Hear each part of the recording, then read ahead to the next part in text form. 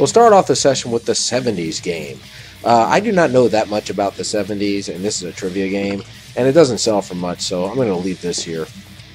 Here is a nice bamboo Chinese checkers set. Uh, normally I would get this, but we already have Chinese checkers, and it looks just like this, so I'm going to leave this here for somebody else. Here's a game called What's in the Square. This is a kid's game, and uh, this one does not go for much, and they want a little bit too much for this, in my opinion, so I'm going to leave this here for the kiddos. Here's a popular card game called Euchre.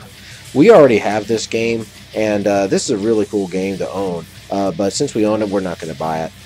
Here's a game called Score 4. This game goes for about 10 bucks on eBay, uh, but this one's missing some parts, so we got to leave this one here too.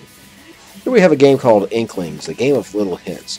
We already have this game, and this game probably would sell well over Christmas, but not this time, so I'm going to leave this. Up next, we have Mad Chatter, the game of quick descriptions.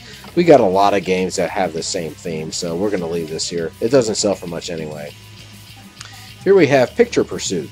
Uh, never heard of this game. Uh, not something our group would probably be interested in, so I'm going to leave this here. What's it? Well, I'll tell you what this is. This is a game of words, and we got plenty of word games. I think I'm going to leave this one here too. Again, it doesn't go for much. Here we have Phase 10 Twist. They don't make this game anymore, and it goes for some money on eBay. It's missing the information cards, but I can still get some money for it, I think, so I'm going to get it for sure. Here is a dot-com edition of Monopoly. The box is pretty beat up on this, and I think it's missing a couple of pieces, so on the shelf. Here we have Go Long Football Dice Game. We have this game already, and it's a pretty cool little game. But again, it doesn't sell for much on eBay, so I'm going to leave this here for somebody else. Here we have Mummy Rummy.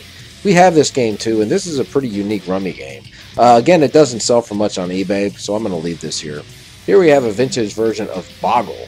I would probably have gotten this if it wasn't $5. That's a little bit high. I'm going to leave this one here too. Here we have Disney Pictopia.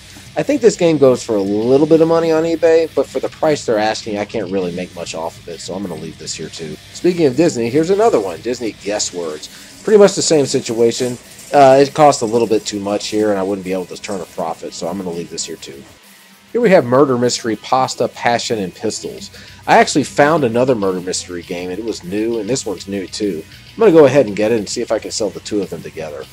Here we have It's a Wonderful Life, starring Jimmy Stewart. And it's a wonderful game, too. You, you, you gotta believe me, I say. Well, I don't believe you, Jimmy. On the shelf. Well, folks, that does it for us this week. Tune in next week for another episode of Big Game Hunting. If you like what you see, please feel free to subscribe. Take care. Keep on gaming.